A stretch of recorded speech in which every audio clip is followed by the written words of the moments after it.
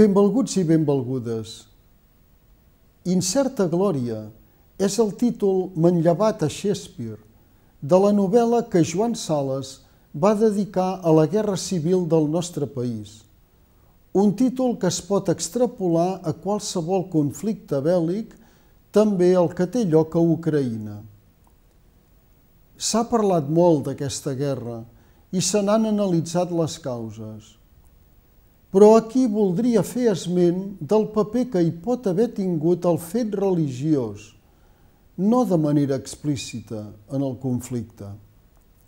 Vagi per endavant la condemna sense pal·liatius de qualsevol guerra i d'aquesta en concret. El fet de voler entendre un conflicte no significa justificar-lo. Europa s'ha construït històricament al voltant de la religió cristiana fins a l'època moderna. Les divisions del cristianisme s'han convertit simultàniament en divisions socials i polítiques, moltes vegades emprades per interessos partidistes. No és possible il·lustrar aquí totes aquestes divisions, però sí fer referència a la que afecta a Ucraïna i Rússia. Ambdues són de religió cristiana ortodoxa, però tota la part occidental d'Ucraïna, la més propera a Polònia, és de confessió catòlica, encara que de ritus bizantí.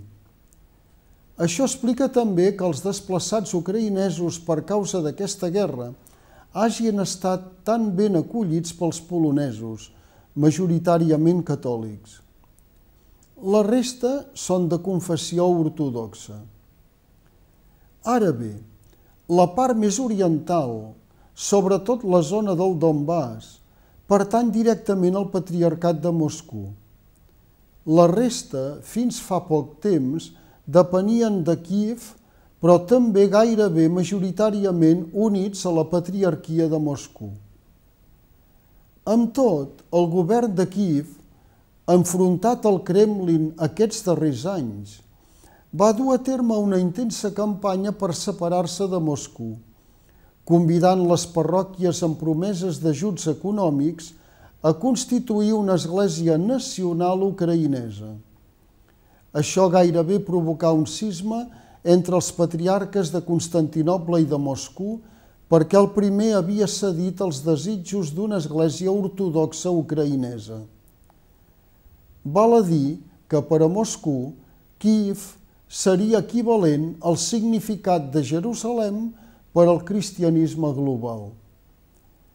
D'aquí que el patriarca Kirill de Moscou s'hagi referit als que suposen a la unitat històrica de Rússia i Ucraïna com forces del diable.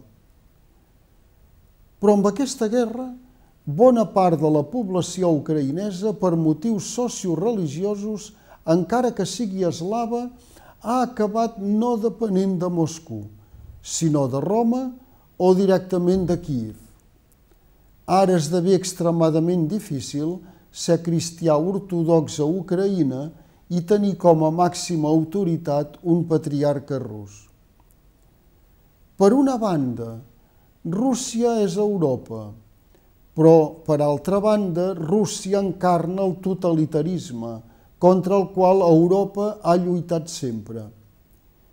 I per contra, Rússia no tolera d'Occident el relativisme i el secularisme militant que, segons el metropolita Hilarion Alfeyev, considerat el número dos de l'Església Ortodoxa russa, és molt més perillós del que va suposar l'ateisme militant de l'antiga Unió Soviètica.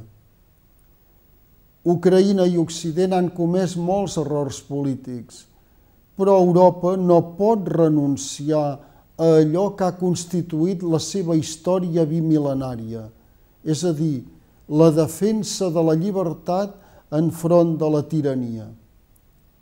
Dir això no és en absolut un al·legat en favor de la guerra, sinó de la negociació i del diàleg.